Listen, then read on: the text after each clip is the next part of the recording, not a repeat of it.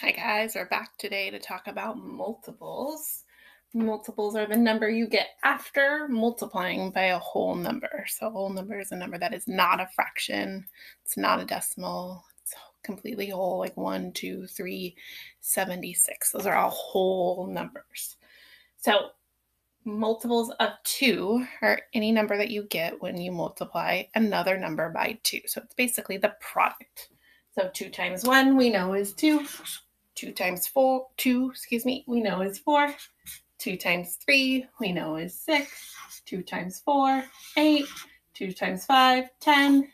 And 2 times 6, 12. That list goes on and on and on and on and on and on and on forever. I could do 2 times 100 and I get 200. 2 times 3,672 and I would get a multiple of 2. The thing about multiples is that list goes on forever factors, there's a set number of factors for every number, but multiples can go on forever and ever and ever. So we're going to start a list of multiples for two, but that doesn't mean that where I stop, that's all the multiples of two. It's just I don't want to make a list for the next 15 days of the multiples of two. So we're going to use these, the products, and those are our multiples of two. So we're going to do two, comma, four, comma, six, comma, eight, comma, 10, comma, 12. That should remind you of skip counting. We've been doing skip counting for years. You learned how to skip count when you were in kindergarten and first grade. This is basically skip counting. So finding the multiples of a number is skip counting by that number. We skip counted by twos, 2, 4, 6, 8, 10, 12. Remember that goes on and on and on forever just skip counting by a number. So if we wanted to do the multiples of 5, we could write out all the equations. 5 times 1 equals 5. 5 times 2 equals 10. Or we could just know that we need a skip count by fives.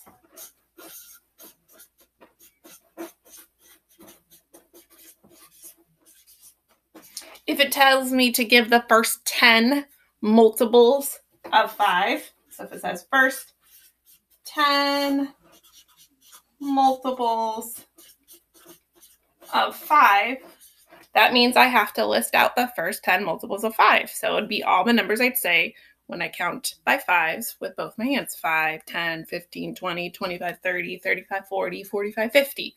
That would be the first 10 multiples of 5. Between each number, there should be a comma that helps you and the person who's reading your assignment know 5 is one of the numbers, 10 is another number. So 5, comma 10, comma 15, comma 20, comma 25, comma 30, comma 35, comma 40, comma 45, comma 50. That would be the first 10 multiples of 5. 1, 2, 3, 4, 5, 6, 7, 8, 9, 10. But as for the first 15, then your list would continue until you have 15 different numbers there. Okay, so that is multiples. It's skip counting by the number that it's asking you. Go ahead and answer the questions that are below this video.